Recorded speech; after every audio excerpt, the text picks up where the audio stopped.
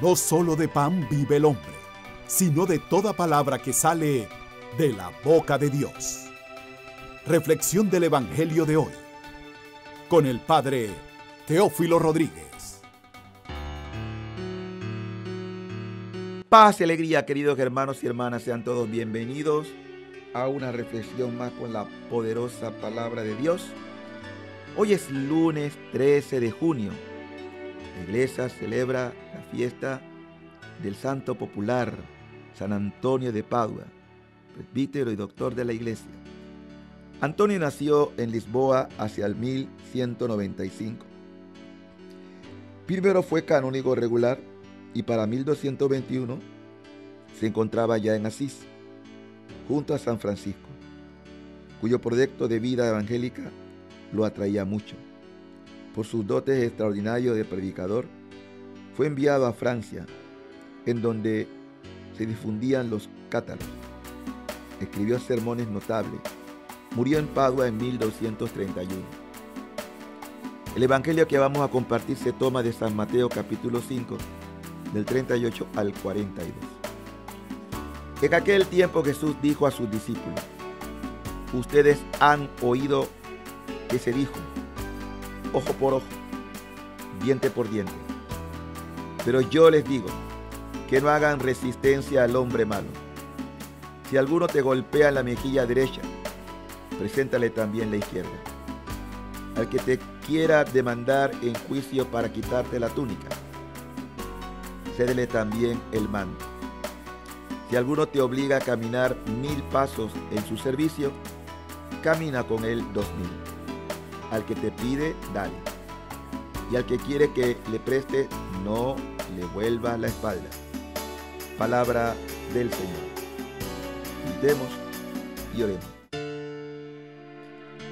Las palabras de nuestro Señor en este sermón de la montaña que estamos disfrutando todos estos días tiene aplicación siempre y cada día y a toda hora, porque estamos siempre acosados por la injusticia y la revancha los conflictos y las reclamaciones por lo que cada uno considera sus derechos es crónica diaria a todos los niveles, cívico, administrativo, laboral, familiar, incluso entre amigos, socios y compañeros.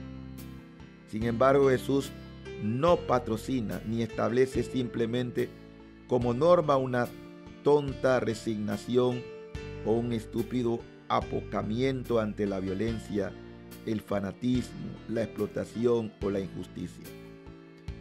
No se le niega al discípulo de Cristo los derechos humanos, pero el nivel del amor debe primar sobre el nivel jurídico. Jesús no propone al cristiano la resignación fatalista, sino la no violencia, activa del amor, porque Él no aprueba cualquier pasividad y silencio ante la sinrazón y la injusticia.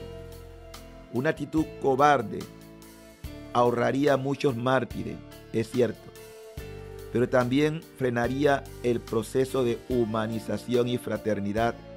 En muchos casos, silenciaría la voz de los pobres sin voz. Hoy como ayer, hace falta testigos rebosantes de amor al enemigo defensores valientes de los derechos humanos, aunque en ello le vaya la vida. Aguantar la injusticia no significa aprobarla ni dejarla sin denuncia profética. Perdonar y amar gratuitamente nos resultará imposible si no vivimos habitualmente en el ámbito del amor. Como clima ambiental de nuestra vida, y conducta cristiana. Lo que parece imposible al hombre terreno es posible para Dios.